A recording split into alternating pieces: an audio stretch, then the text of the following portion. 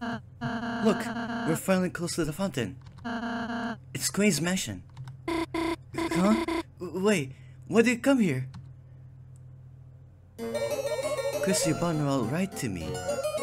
I knew our truce was the best. But unfortunately, that means the truces are over.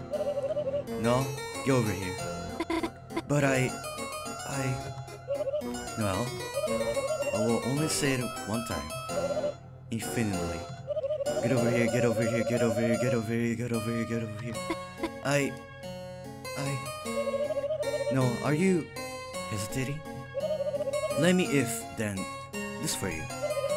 How about, if you don't listen, then a certain bird might take a ride in the Acid River.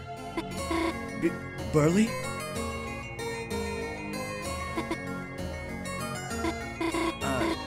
Sorry, Kris.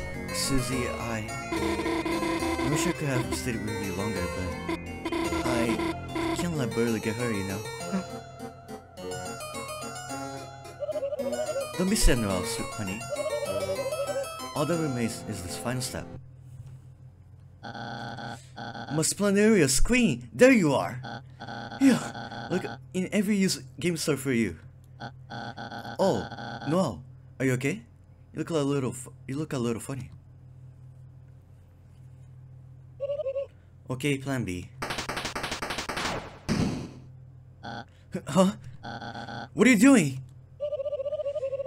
I see now her will most will must be unleashed by force. Perhaps if I make her face into a robot one? But you say you wouldn't do that if I verbal lance set to chew. We were going to be smart together! That's not fair! Understood. Fairness activated. Hey! Good thing I calibrated those cages. You... You said I could trust you! You said you were a gamer! Berdly, I only play mobile games. No!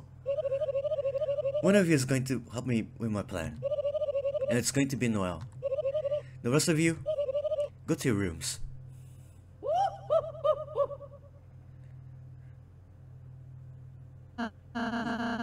What are you going to do with me? Oh damn. It'll stay here. Only made for cages. I literally don't know.